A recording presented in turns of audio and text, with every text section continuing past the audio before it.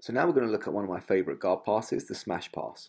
It's what we apply to an opponent that's seated in front of us when we've opened their guard and separated from them, but are having trouble passing their legs.